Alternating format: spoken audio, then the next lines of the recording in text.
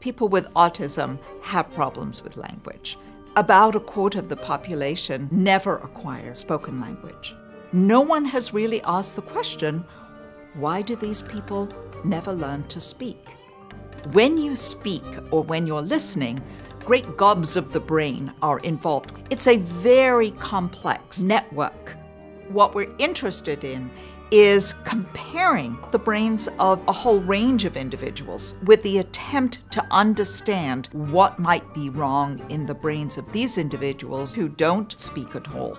Do we see differences in the connectivity in particular regions? Is it going to be more in the traditional language areas? Is it going to be more in these speech output areas? Is it going to be more in the auditory processing areas?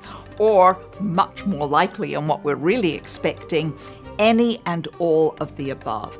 We're hoping that eventually we can look at children very early on and target the intervention to the particular kinds of problems they have. So we're hoping that this is going to be the first step along the way to making a difference.